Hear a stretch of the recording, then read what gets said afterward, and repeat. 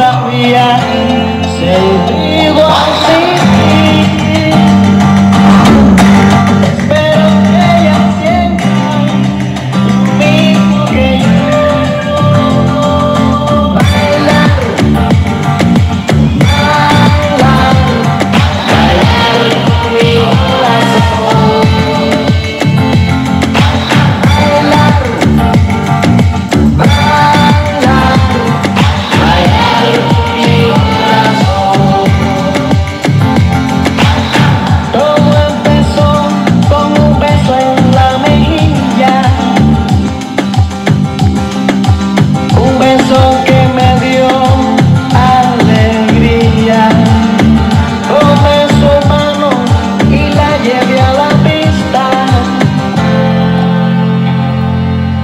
y la seduje con mis pasos mágicos.